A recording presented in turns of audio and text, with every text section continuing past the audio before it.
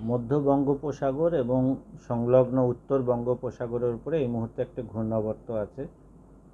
আর পূর্বাভাস যেটা হচ্ছে আগামী চব্বিশ ঘণ্টার মধ্যে এটা একটা নিম্নচাপে পরিণত হবে। কিন্তু নিম্নচাপের অবস্থান যেটা হবে সেটা হচ্ছে উড়িষ্যা অন্ধ্রকোস্টের কাছাকাছি। অর্থাৎ আমাদের কোস্ট থেকে অনেকটা দূরে। নিম্নচাপ হওয়ার পরে এই নিম্নচাপ উড়িষ্যা কোস্ট ধরেই উড়িষ্যা হয়ে এগিয়ে যাবে। ফলে আমাদের রাজ্যে এই নিম্নচাপের ডাইরেক্ট কোনো প্রভাব কিন্তু পড়বে না। কিন্তু নিম্নচাপ যতই ভেতরে ঢুকবে, তত আমাদের রাজ্যের উপর দিয়ে দক্ষিণ দিক থেকে এবং দক্ষিণ পূর্ব দিক থেকে জলীয় বাতাস প্রবেশ করবে। তার ফলে আজকে বারো তারিখ থেকে চোদ্দ তারিখ অবধি দক্ষিণবঙ্গের সমস্ত জেলাতে হালকা থেকে মাঝারি বৃষ্টি।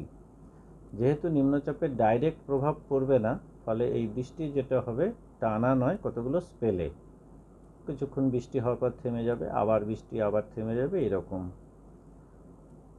শুধুমাত্র উপকূলবর্তী জেলা অর্থাৎ দুই চব্বিশ পরগনা, দুই মেদিনীপুর এবং ঝাড়গ্রাম, এই জায়গাগুলোতে কম্পারেটিভলি বৃষ্টি একটু বেশি হবে এবং দু এক জায়গায় আইসোলেটেড হয়েতে ভারী বৃষ্টি।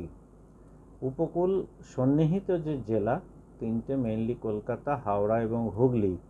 এই তিনটে জেলাতেও বৃষ্টি হালকা থেকে মাঝারি এবং একটু পরের দিকে পশ্চিমের জেলা অর্থাৎ পুরুলিয়া, বাঁকুড়াতেও কিন্তু হালকা থেকে মাঝারি বৃষ্টির সম্ভাবনা। বাকি জেলাগুলোতে মূলত বিক্ষিপ্তভাবে বৃষ্টি হবে।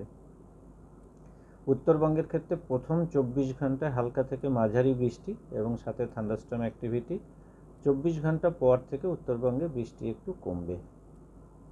তাপমাত্রার ব্যাপারে উত্তরবঙ্গের ক্ষেত্রে খুব একটা সিগনিফিক্যান্ট চেঞ্জ নেই। দক্ষিণবঙ্গের ক্ষেত্রে প্রথম তিন দিন তাপমাত্রা একটু কমবে, তিন দিন পর থেকে খুব একটা সিগনিফিক্যান্ট চেঞ্জ নেই।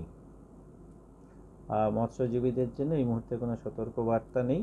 সতর্কবার্তা যেটা শুধু একটু থাকছে, সেটা হচ্ছে খুব আইসোলেটেড ওয়েতে দু এক জায়গায় ভারী বৃষ্টি সাউথ চব্বিশ পরগনা, পূর্ব মেদিনীপুর, পশ্চিম মেদিনীপুর এদিকটাতে।